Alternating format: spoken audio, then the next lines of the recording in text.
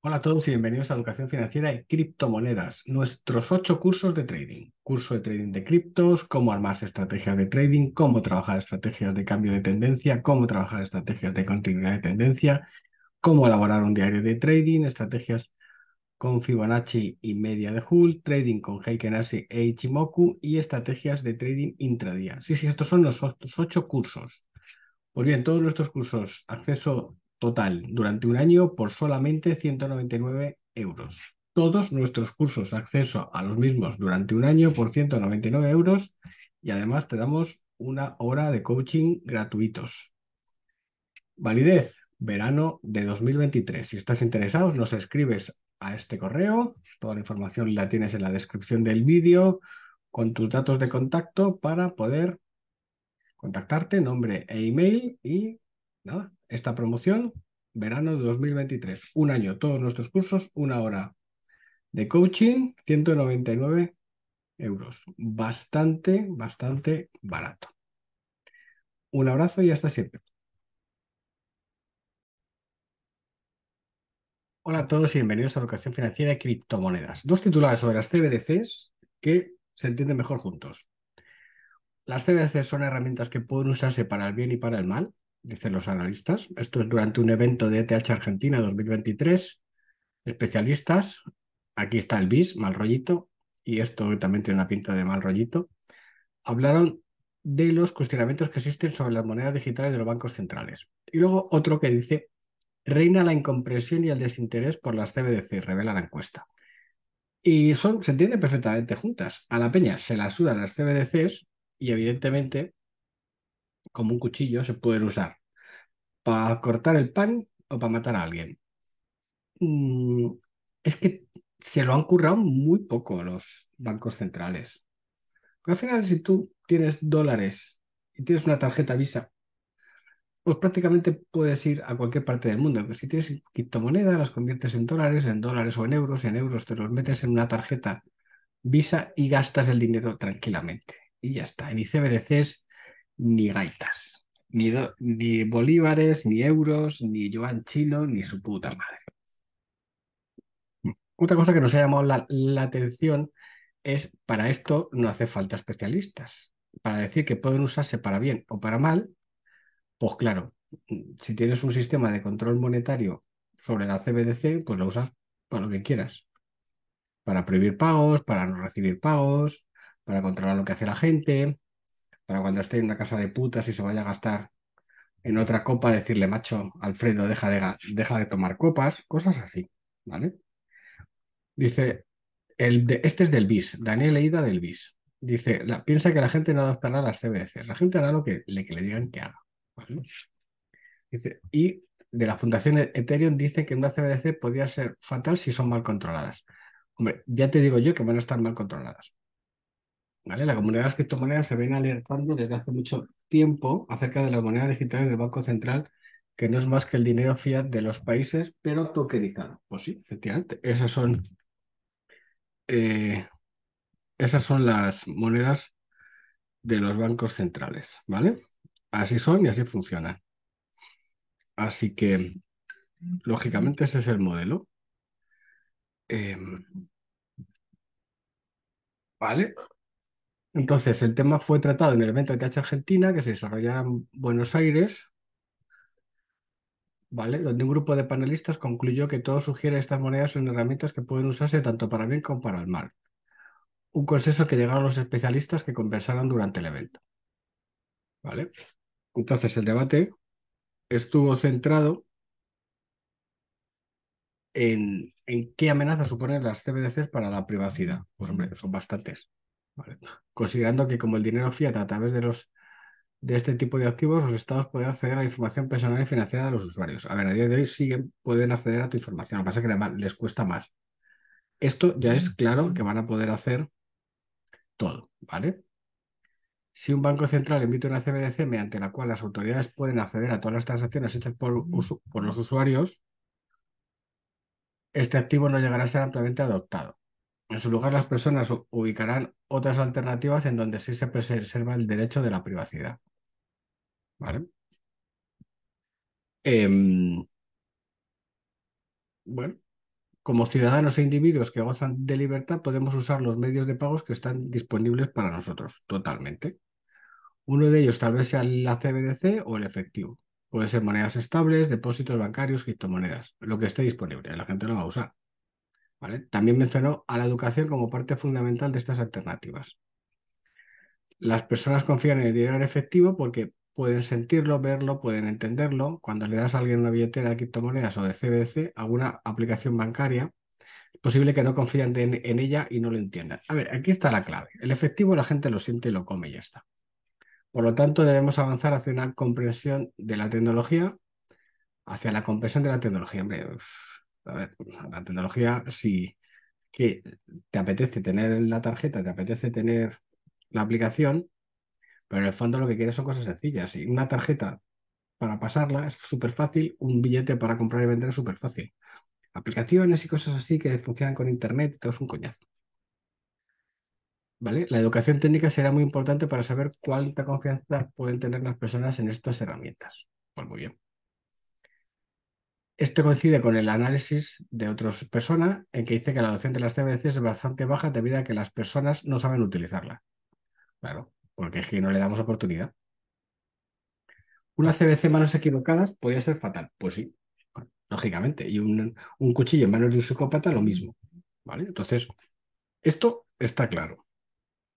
Esto está absolutamente claro. Eh,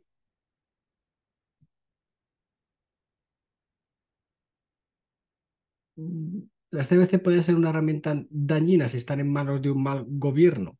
Pues sí, como todo. Sí, claro, así. Y es más, son, son sistemas de control, ¿vale? Absolutamente sistemas de control.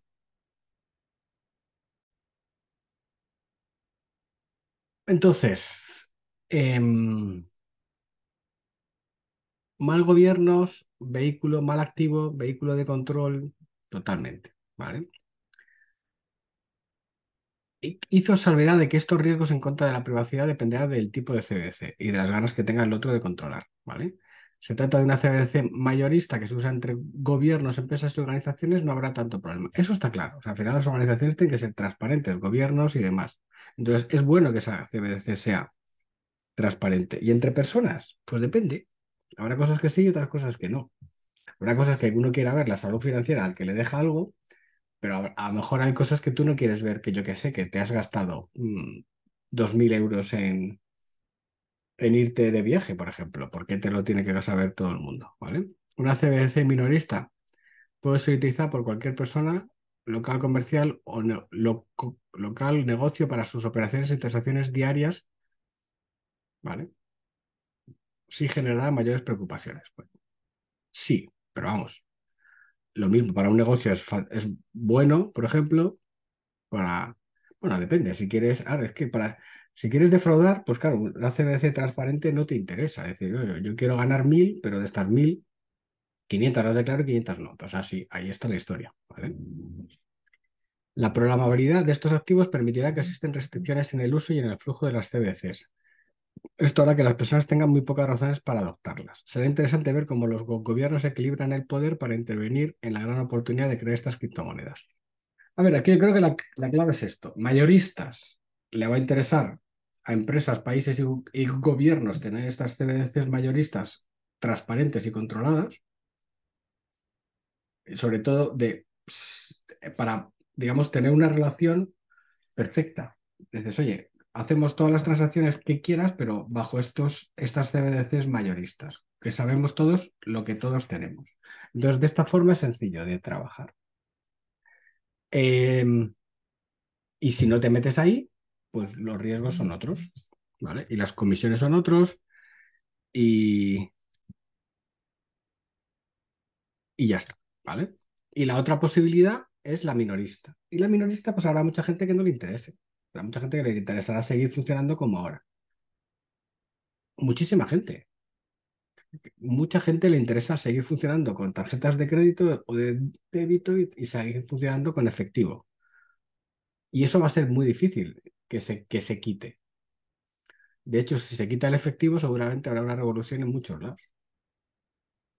Claro, bancarización, aplicaciones y, demás historias es relativamente complejo. Pero bueno, veremos a ver. Desde luego, creo que se impondrá por la fuerza, entonces ahí no habrá más cojones y habrá reductos como en Obelix, ¿vale? Y la gente al final tendrá una especie de, dinero sustituto. La incomprensión y el desinterés, pues también es lógico, es consecuencia de lo anterior. Una consulta de inversionistas y usuarios determinó que las personas podían terminar rechazando las monedas digitales del Banco Central. Claro. La adopción no puede darse por sentada. Hombre, si te sí. La institución aconseja a los, estados a educar más sobre su CBDC y sobre todo demostrar la utilidad respecto a lo que ya tiene. ¿Vale? ¿Vale? Entonces, la falta de comprensión y el desinterés en torno a las monedas digitales sigue en niveles altos. De acuerdo con el CFA Institute, hay un número considerable de personas que no entienden el funcionamiento de estos activos digitales. Entonces, hay, vuelvo a decir que el problema está en que el número considerable em, hay un número considerable de gente que no lo entiende, pues lógico, claro, porque todavía no lo has explicado.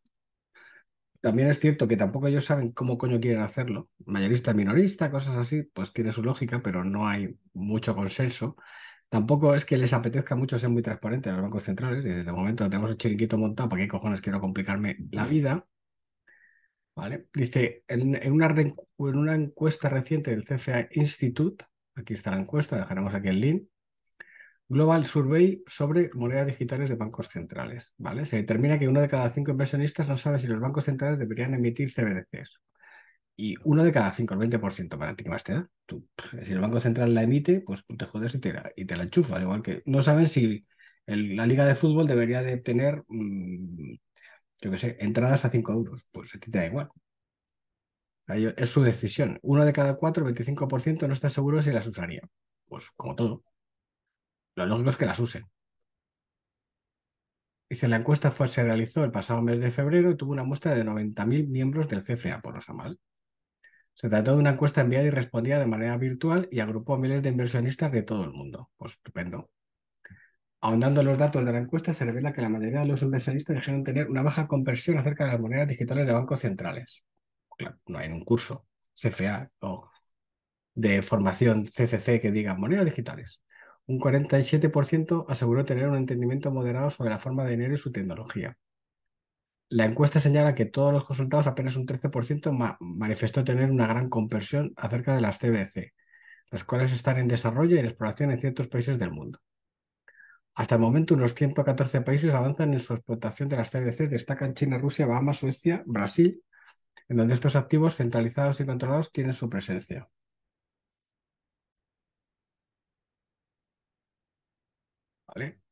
Aquí bajo entendimiento, moderado entendimiento, alto entendimiento. Pues está pues en lo lógico, ¿vale? Más o menos, eh, no está mal, 13 y 47, un 60% de entendimiento bastante alto, pues está bien. La opinión pública en torno a los CBDC sigue siendo una pizarra vacía con un número considerable de encuestados que informan una falta de comprensión sobre la misma o puntos de vista indecisos.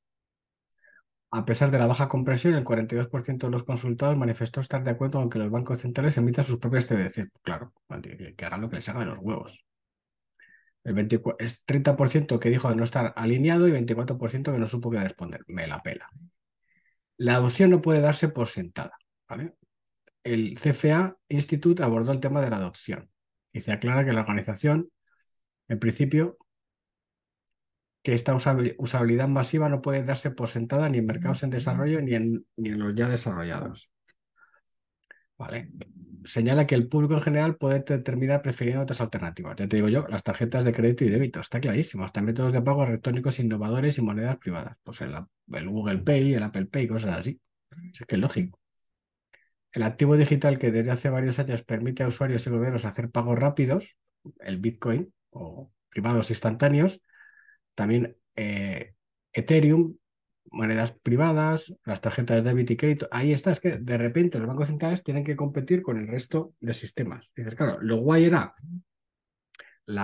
el dinero en efectivo, pero si lo quitas, ¿para qué cojones vas a usar en la CBDC. Si es que te interesa la tarjeta Visa, te, te, interesa el Google Pay, el Apple Pay, te interesa mm, una stablecoin. ¿Qué cojones me estás contando? El informe CFA señala que una CBDC, una CBDC podría no lograr la aceptación completa en mercados con alta receptividad al dinero digital si el producto ofrecido no está a la altura de las aspiraciones de inclusión financiera y otros beneficios percibidos. O sea, si, si no mejora lo que tengo, ¿para qué coño lo quiero usar?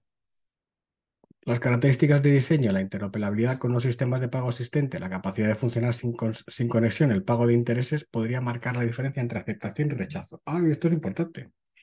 Si tengo la moneda y además me das intereses, porque en función de los tipos de interés, entonces tendrá aceptación. Y dices, oye, sí, si tienes el euro digital y además el tipo de interés es el 4 y por tener el monedero tienes un 3,50, pues seguramente mucha gente lo use. en lugar de tener el dinero en la tarjeta, lo tengo en, el, en la CBDC digital que me da un 3% anual. Pues perfecto. ¿Vale? Ha habido, casos, ha habido casos de rechazo de, de. En Nigeria se metió la moneda digital, el proyecto no ha tenido grandes avances por la poca adopción entre los usuarios quienes optaron más bien por Bitcoin. Nos ha jodido, como que son tontos. Eh, el CFA también recuerda el análisis realizado por, el investigación, por el investigador de, finanzas digitales, Xavier Lavaire, Lavaseire, Lavasiere, que sostiene que los proyectos de CBDC no han logrado tener éxito y su adopción ha sido considerablemente baja debido a que los usuarios reina la incomprensión. La organización recomienda a los bancos centrales y a los gobiernos realizar un importante esfuerzo educativo y de divulgación y que permita a las personas explicar por qué lanzarían las CBDCs, con qué propósito y bajo qué circunstancias. Generar interés al público y demanda. A ver, ¿por qué voy a usar tu sistema si tengo otros? Porque aparte del dinero en efectivo, el resto no me interesa. El único que ha triunfado de los bancos ha sido el Bizum, por ejemplo, o sistemas parecidos. Pues el Banco Central me temo que tiene que ponerse al día. Y pues si no, nos tenemos incompresión y desinterés y ojo con esto, que pueden usar para bien o para mal. Me ha encantado esto. Es increíble. En fin, TBDC es un follón que no le interesa a nadie. Un abrazo y hasta siempre.